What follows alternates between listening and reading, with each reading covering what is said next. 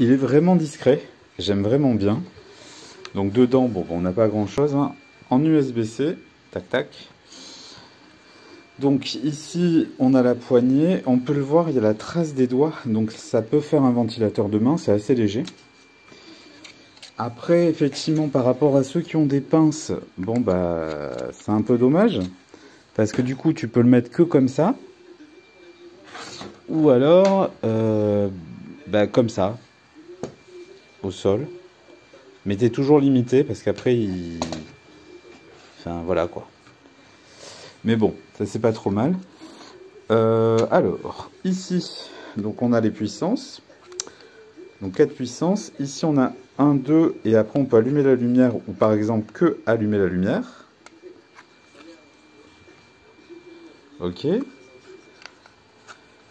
Et après, on a les puissances. Donc 1, 2, 3, 4. Et vraiment, il est hyper, hyper, hyper discret. Et ça, ça va m'aider le soir quand je veux pas mettre la clim cet été. Et on peut choisir la durée. Une heure, deux heures, rien du tout. Si on veut éteindre, tac. Et hop. C'est pas mal.